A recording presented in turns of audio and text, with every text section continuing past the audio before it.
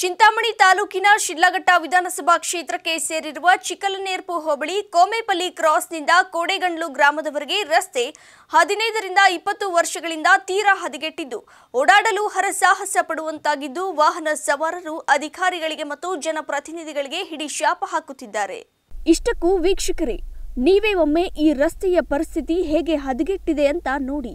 ಸಣ್ಣ ಜಲ್ಲಿಕಲ್ಲುಗಳಿಂದ ರಸ್ತೆ ಉದ್ದಕ್ಕೂ ಇವೆ. ಜೊತೆಗೆ ಎಲ್ಲಿ ನೋಡಿದರೂ ಗುಂಡಿಗಳು, ದ್ವಿಚಕ್ರ ಹಾಗೂ ತ್ರಿಚಕ್ರ ವಾಹನ ಸವಾರರು ಮೂರು ಕಿಲೋಮೀಟರ್ ಚಲಾಯಿಸಿಕೊಂಡು ಬರಬೇಕಾದರೆ ನಲವತ್ತೈದು ನಿಮಿಷ ತೆಗೆದುಕೊಳ್ತದಂತೆ. ನೋಡಿ, ಎಂತಹ ದುಸ್ಥಿತಿಯಲ್ಲಿ ಜನ ಬದುಕುತ್ತಿದ್ದಾರೆ.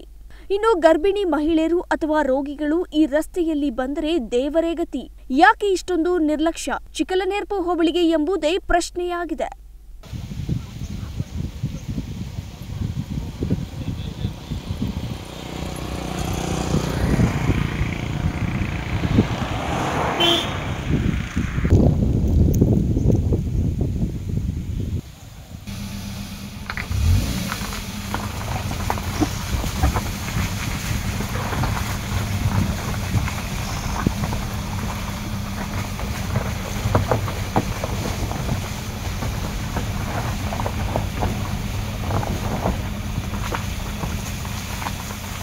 ಜನಪ್ರತಿನಿಧಿಗಳು ಓಟ್ ಕೇಳೋಕೆ ಬಂದಾಗ ಕ್ಷೇತ್ರ ಅಭಿವೃದ್ಧಿ ಮಾಡೇ ಬಿಡ್ತೀವಿ ಅಂತ ಹೇಳಿ ಓಟ್ ಪಡೆದು ಗೆದ್ದು ಹೋದ ಮೇಲೆ ಅಭಿವೃದ್ಧಿ ಎಂಬುದೇ ಮರೀಚಿಕೆಯಾಗಿದೆ.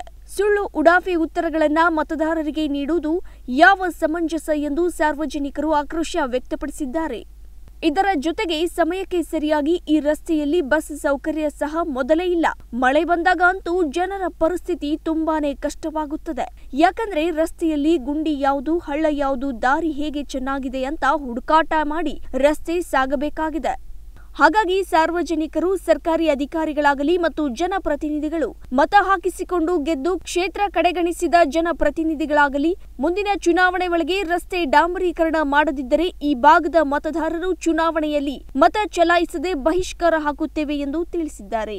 ಧರಣಿ ಮಾಡ್ತೀವಿ, ನಮ್ಗೆ ವ್ಯವಸ್ಥೆ ಇಲ್ಲ, ಗುಣಿ, ರಸ್ತೆ ಗುಣಿ ಇದೆ, ಏನು ವ್ಯವಸ್ಥೆ ಮಾಡಿ ಧರಣಿ ಇದೆ. ಈ ಚಿಲ್ಕನಾಥ್ ಹೋಬಳಿನಲ್ಲಿ ಕೊಮ್ಮೇನಹಳ್ಳಿಯಿಂದ ಕೊಮ್ಮೇಣಹಳ್ಳಿ ಕೋಡೆಗಂಡು ಈ ಕಡೆ ಹಳ್ಳಿಗಳೆಲ್ಲ ವ್ಯವಸ್ಥೆ ಇಲ್ಲ.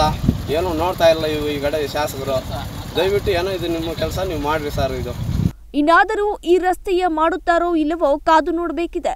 ಜನಪ್ರತಿನಿಧಿಗಳು ಇತ್ತ ಗಮನ ಹರಿಸಿ ರಸ್ತೆಗೆ ಡಾಂಬರೀಕರಣ ಮಾಡ್ತಾರಾ ಇಲ್ವಾ ಅನ್ನೋದು ಕಾದು ನೋಡಬೇಕಿದೆ. ವೆಂಕಟಚಲಪತಿ, ಅಮೋಕ್ ಟಿವಿ, ಚಿಂತಾಮಣಿ.